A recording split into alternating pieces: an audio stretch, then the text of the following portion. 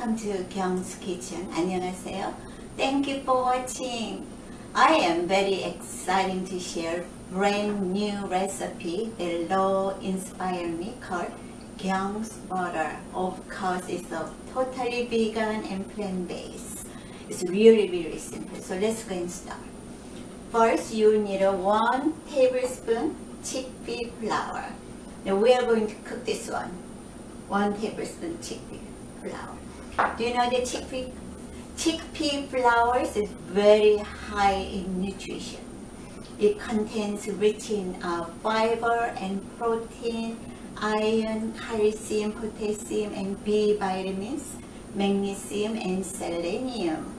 Very high in antioxidant, which is will fight for cancer, and uh, anti-inflammatory. If you are suffering from like arthritis pain, use some chickpea flours.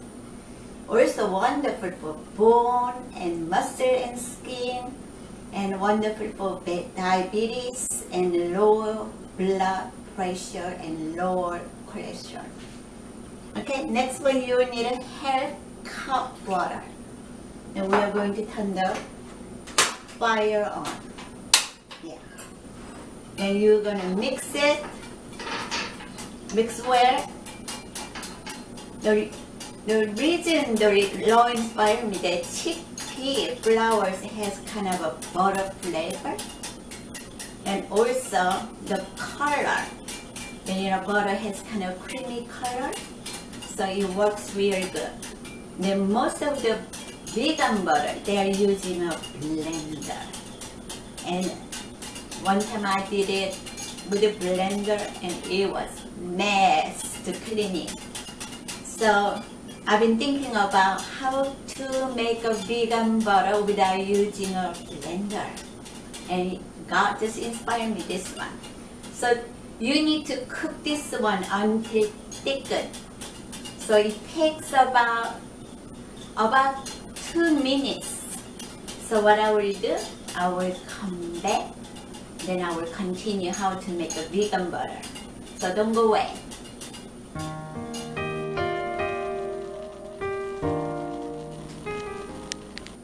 Welcome back. Now chickpea is all cooked, chickpea flours. So after you're done, it kind of a, uh, this kind of consistency then you're going to put it in the mixing bowl. Take it all out. I was very impressed about this recipe. I really enjoy using it. Okay. After that, you will need a half cup coconut oil and put this in your microwave for 35 seconds. Then it will be liquefied. Then you're gonna add this one to here.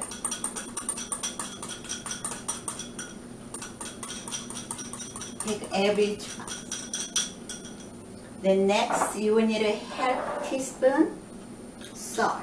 I'm using a Himalaya pink salt and one teaspoon nutritional yeast black which is as adds more color and plus and some flavor. First recipe I did at home, I'd add about one teaspoon garlic powder. then I can uh, use it for my cookie. So, so I just did it that. Mix it really good. And while I'm mixing it, I'm here with the coconut oil, what God put in the coconut oil for us. It's very high in antioxidant. Also vitamin E, and it's a high in saturated fat, but it's not like animal fat. Actually, it will decrease your bad cholesterol and increase your good cholesterol when you use coconut oil and good for Alzheimer's diseases. A lot of people suffering from Alzheimer's disease. Also, and when you have a stomach problem or pancreatic intestinal problems, please make some Kyong's butter. Look at that. Take some time to mix like I do, about 30 seconds. This one is not ready. You're gonna put this in the uh, refrigerator for about set it like a uh, butter consistency. Usually takes about few hours. So I'm gonna show you finished product. It's like that. I have to taste it. It was so good. See that how firm it is? Then I will show you what you can do with.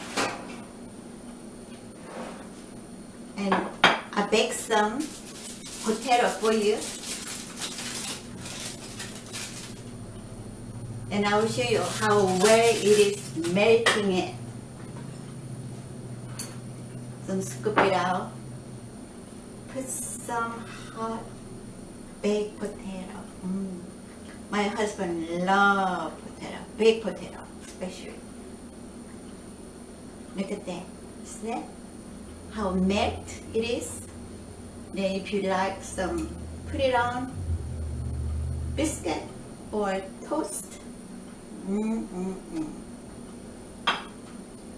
Yum, yum.